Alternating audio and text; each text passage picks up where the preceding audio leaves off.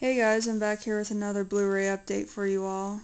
I know it's been forever since I've done one of these, but I've just been having a lot of stuff that's been going on this um last couple of months or so, but yeah, I have quite a few here. This is going to be two parts, definitely. Uh, maybe three, I don't know yet.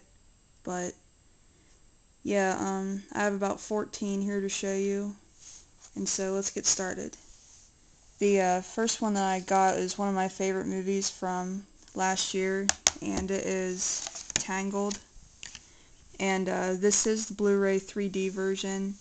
Uh, I don't have a Blu-ray 3D player, but the reason I got the Blu-ray 3D copy was because I had this coupon for this version, and after using that coupon, it pretty much came out to the same exact price as the other Blu-ray copy, and I figured, you know, I might as well just go ahead and get the 3D copy because I'm sure one day down the road I'm going to want to get a 3D Blu-ray player, so I figured why not. So I got the 3D version, which it does have the regular Blu-ray as well. But yeah, this is a very, very cute movie. It's a story about Rapunzel, and uh, in this movie Rapunzel has these uh, special um, healing powers, and she has this evil mother who is pretty much keeping her locked up in a tower and is keeping her hostage just just so that she can use her uh, healing powers for herself. And so uh, she eventually meets this prince, and you know, of course, they end up falling in love, and she convinces him to take her out to see these um, lanterns that are lit every single year on her birthday so that she can see what they are. And then, like, of course, as they're going out to uh, see these lanterns, they end up getting closer and closer as the movie progresses. And it's a very, very good and cute movie. I definitely highly recommend it. And I'll show you what it looks like. So, um, you've got the Blu-ray 3D right here. And then you've got the regular Blu-ray copy, which is what I watched. And you've got the DVD, and then digital copy right there. So, there's Tangled. Very good movie. I would definitely highly recommend it. And next up I got another Disney movie, and it is Bambi. we pretty much all know the story of Bambi. Uh, it was one of my favorites as a kid. I hadn't seen it in several years until I actually bought it. And, uh, yeah, um, it actually was a lot better than I thought it was going to be, you know, watching it so many years later. Because honestly, I wasn't sure, like, if I was going to like it that much now. But it was actually, I thought, a very good movie watching it now, so many years later. But, yeah, we all know the story of Bambi. It's about this, uh, deer named Bambi, and his mother gets killed, and uh, it's basically him like uh, trying to survive afterwards. Uh, that's pretty much all I can say about it, but yeah, it's a very, very good Disney movie. Uh, I was uh, surprised actually at how um, emotionally disturbing that it was at times, like, you know, with uh, animals getting killed and things like that. I mean, knowing that it actually happens, it kind of makes you depressed while watching it. But it is a very good movie. Um, I'm sure you've all seen it by now, but if not, I would definitely recommend it.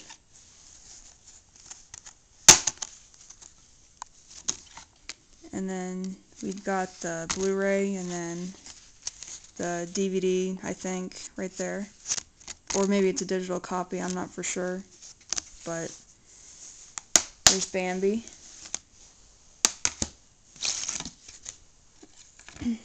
and I think that's pretty much it for the Disney movies.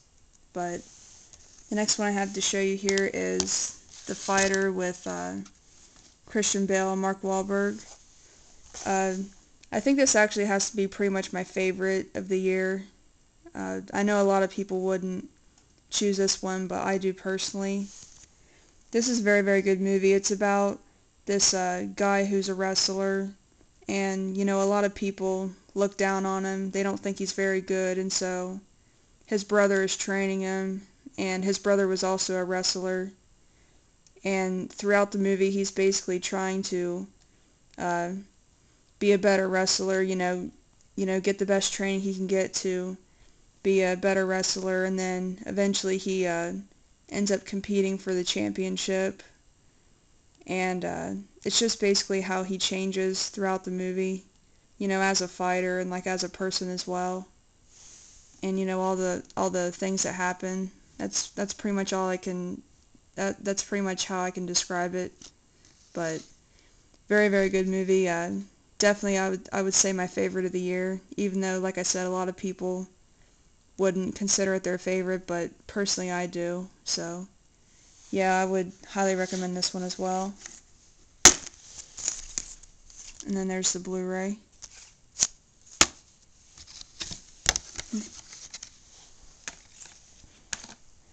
And uh, this next one that I got, you probably wouldn't expect me to get this, but I got Michael Jackson's This Is It. This is one I've always wanted to see, but like kept putting it off. And uh, I eventually found this for $10, and I figured, you know, why not? I might as well get it.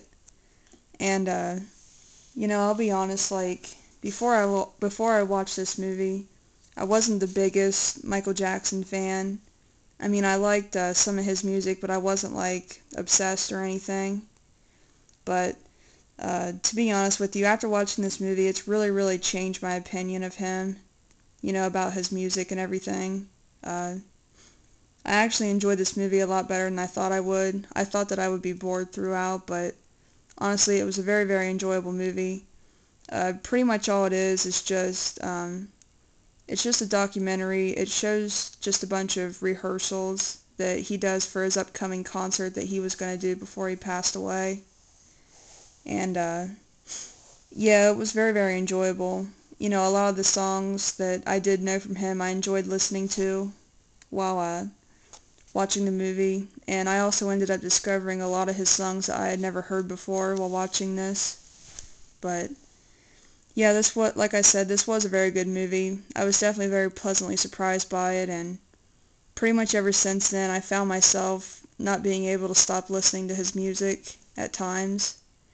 You know, like all of a sudden I'll get in a mood to listen to one of his songs, and then once I start listening to him, I just can't stop listening to him for like an hour you know, I'll just I'll just start listening to more songs and more songs and so on and so forth.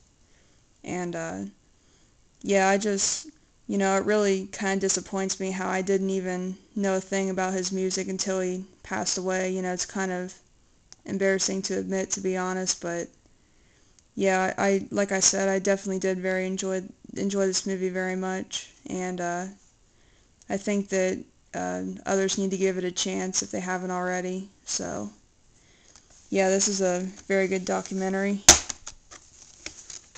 And then there's the disc inside. And the next one I got, this is one of my favorite movies. It is Rain Man. Uh, I got this on Blu-ray because it was cheap. And, uh, yeah, um, this is a Best Picture winner, and I definitely do think that it deserved it. But, yeah, this is basically about this uh, guy named Charlie who's played by Tom Cruise, and his uh, father passes away, and he ends up finding out that he has an older brother named Raymond who's played by Dustin Hoffman. And uh, Raymond is really, really autistic, and he's in a mental institution and uh, come to find out his brother Raymond was left with like three million dollars. And uh, Charlie feels like he's entitled to some of that money. And so basically he uh, kidnaps Raymond from the institution and he's driving him all the way across the country and is pretty much like holding him hostage until he can get his half of the money. And then you know uh, pretty much at the beginning, all he cares about is just getting the money, but as the movie progresses, they start to grow closer and closer, and he ends up having these uh, strong feelings for his brother, and uh, you know his brother drives him crazy throughout the entire movie with his uh, you know his mental problems and stuff, but it's just a really, really good, heartwarming movie. Uh, very funny at times as well. And uh, it's just all, uh, uh, I can't talk. Uh, what I was trying to say is, um, you know, just overall, it's really a perfect movie. Uh, I would definitely highly recommend that you watch this. Uh, it's one of those movies where you don't think it's going to be very good, but then it turns out to be really, really good. And that's definitely why I recommend it, because, I mean, I know the plot doesn't sound that good, but trust me, once you watch it, you'll really, really enjoy it. So, yeah, there's Rain Man. And it looked good on Blu-ray as well. Um, I wasn't expecting it to, but it actually did, so definitely pick it up on Blu-ray. And the next one that I got, this was a blind buy, and it is Apocalypse Now. Uh, to be honest with you, I'm really not sure what I think about this movie. Uh, I did watch it the day that I got it, and the thing is, like, parts of it I liked and parts of it I didn't like. Uh, um, I think I'll say that I liked the movie. I'm not going to say it was just okay. I thought it was a little bit better than that. But, yeah, like I said, um, parts of it I liked, parts of it I didn't. Uh, it's pretty much about this uh, guy who was in the Vietnam War, and they hire him to uh, go back to Vietnam and to assassinate this um, leader of this tribe. And uh, it's basically like just about the whole entire journey to uh, find this guy so that he can uh, uh, do his mission. And yeah, parts of it I enjoyed, and then other parts of it I just didn't really get that much. But overall, I thought it was a pretty good movie. I think I need to just watch it again, though. I think that if I watch it again, I'll definitely like it a lot better, so... Yeah, there's Apocalypse Now. It's a two-disc edition. But, yeah, I did thoroughly enjoy this movie, and I definitely do need to watch it again, which I will. Um, I don't think, however, that it's, like, one of the best movies ever made, like pretty much everybody else thinks, but, yeah, those are just my opinions on this movie. So there's that one.